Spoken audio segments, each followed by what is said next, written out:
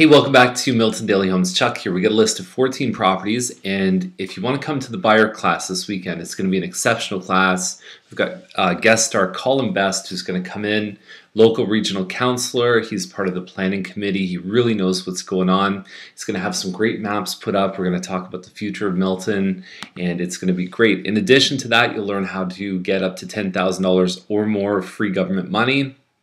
We're going to look at how to get the best deals before other buyers how to ensure your agent protects you. We've got slides from real life home inspections. We're going to go into all the closing costs for new and resale homes. We're going to compare new and resale.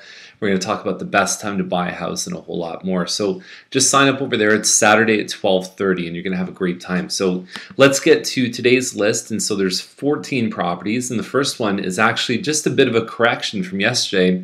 I did notice this one. If you remember it was at 333.9.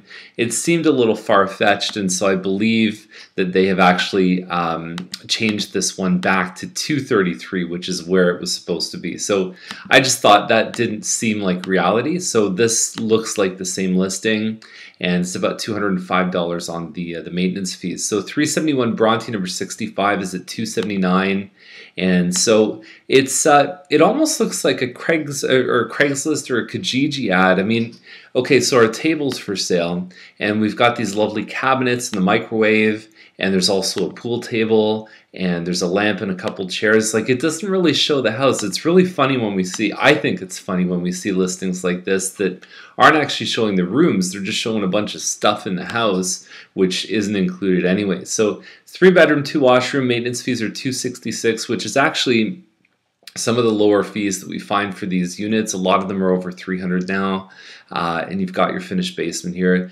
It's not that far off. It's really, with these ones, you look at the complex, you look at the history, and you say, okay, what upgrades have they done, plus or minus, and it spits out a value. It's usually pretty simple arithmetic. Uh, Speyer Circle is 369, and I can almost guarantee these guys are going to get close to, or maybe a little bit above 320. They are going to sell very fast. Uh, it's it's only 1051 square feet, but they've done some great upgrades in here, some great additions. They've even filled in underneath the the counter space with some storage, which is terrific. The uh, the furniture and everything else looks great, and uh, I would say these guys are rocking and rolling for sure. Now 620 Ferguson number 92, 3, uh, 328 8. It's a three bedroom model.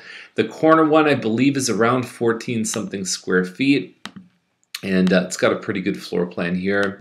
Uh, I think they should do okay. There is a small cost here of about $60 a month for snow removal and for garbage removal, and that translates into about a I would say about a $10,000 carrying cost on a mortgage, 50 or 60 bucks a month is about that much on a mortgage. So really I look at this when I say does it compare to what else is selling in uh, the range about 10,000 higher, about 338? And I would say absolutely. In fact, it's one of the bigger homes in uh, in that list too.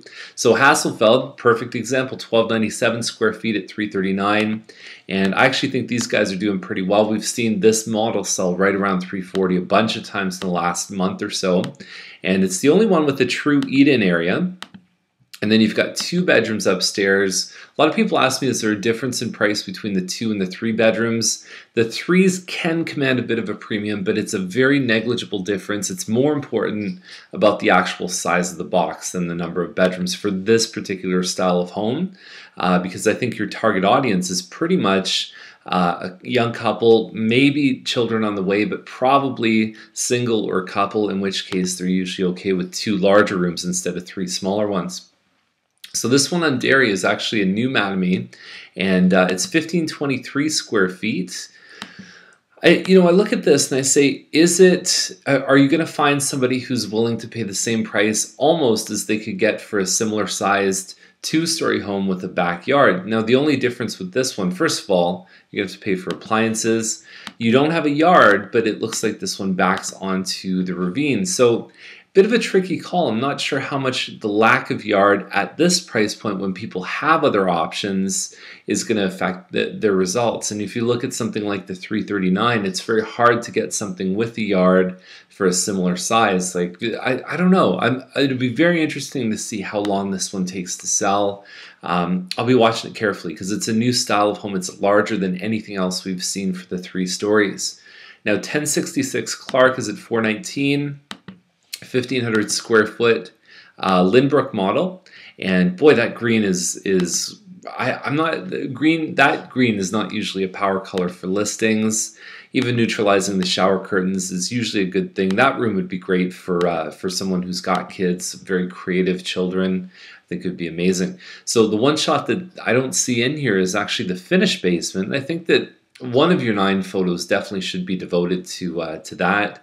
We've got this one on Zelinsky here. It's uh, about 1665 square feet. It's, uh, it's a semi-detached. It's got some nice flooring here. Uh, the kitchen's a little bit more basic, but you've got a bit of a pie-shaped lot here too and uh, everything looks clean and simple. That's the goal whenever you're listing your home is to be right in that range. So you've got 429.9 uh, compared to the stuff that's 150 square feet smaller that's selling for 420. I'd say 429 seems pretty fair, and that lot might just give it that little extra push. So Transcom which is a really bizarre. It sounds like a uh, shipping company, but it's the name of a street, New Street 459, and Townhouse. They've uh, it's very interesting with this one because they've actually quoted the total square footage, so you're never quite sure how much the is the first and second floor, how much is the actual finished basement. Uh, another thing I noticed here too is that you've got cinder block between the homes, which is a good thing. We talked about that at the buyer class. What is between you and your neighbor? Cinder block is uh, is actually more than the minimum standard, which is two sheets of fire resistant drywall. Uh, in a fire, that's going to last much longer different opinions on which one is actually quieter between homes uh, because remember cinder blocks are basically hollow inside uh, but that is definitely what you prefer to have if there was ever an accident and a fire in your neighbor's house. Um, Inman Heights is 500. They're actually holding back on offers, which I think is bizarre because it's not even as good as stuff that's been selling in the 480s. Um, it's nice. It's got the nine foot ceilings. It's got darker cabinets. It's the four bedroom elevation of the plan four, which is 1835 square feet. And they even say in here approximately 19. It's 1835 that doesn't seem entirely close to me. But anyways, it's uh, it, I don't know if they're going to get that. It seems a little bit high. This one on Granke's 1,600 square feet at 509. You can find far larger homes. You can start to get to double garage homes in this range. And I'm not disputing it's nice because it definitely is the crown moldings, the pot lights. You've got uh, looks like a very upgraded ensuite. There is a premium for a home put at this level of quality, but it seems it seems bizarre to me because a nice version of this home just sold recently at 450 so 50 60000 dollars premium. I don't know if the upgrades are worth that. I understand someone may have spent 60 in upgrades. It doesn't mean you're going to get them back. So swindale is 514 and we're looking at about a 2000 square foot home. Nice open concept kitchen. You've got some extra pantry space uh, I like the wainscoting here. It looks really nice. It gives it a different flair. Uh, some money spent in the laundry room, and you've got your finished basement here too. So I definitely think there's a market for this home with the four bedrooms, and you've got four washrooms, including one down in the basement. Lesage has been hanging around. It's actually, for 3,000 square feet, it's not horrible. I just don't find that the home really electrifies. I think that that light definitely makes it look dated. The home itself is probably less than five years old but it almost looks like something that you'd see on Woodward or, or something like it's a bit closer to 10 years old. Um, you'll you'll find more upgraded homes in this price range. It is actually very active. I'm surprised at how many buyers are looking between six and seven hundred right now. Uh, but it just seems like you have to be good. You've got to really look good. You've got to impress. And I think parts of this home do that. But I don't know if it if it's really uh, that if it has that emotional hook that some of the other ones in the range have. Uh, Q6 Circle 743.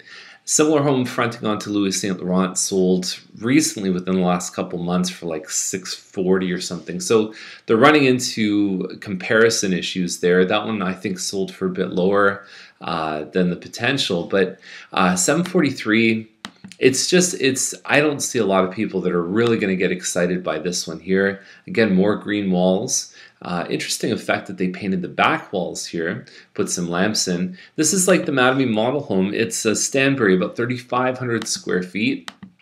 It just, it, I don't know if this one's really going to grab someone. Uh, you know, it's a 50 by 100 foot lot, but I just it doesn't look like it, it really has a wow factor inside, and uh, that's it. It's I like the floor plan though. It's a very interesting floor plan. Uh, if you have any questions, you want to see anything in today's list, just give us a call, and I'd love to see you at the buyer class on Saturday. So have a great day, and we'll see you tomorrow.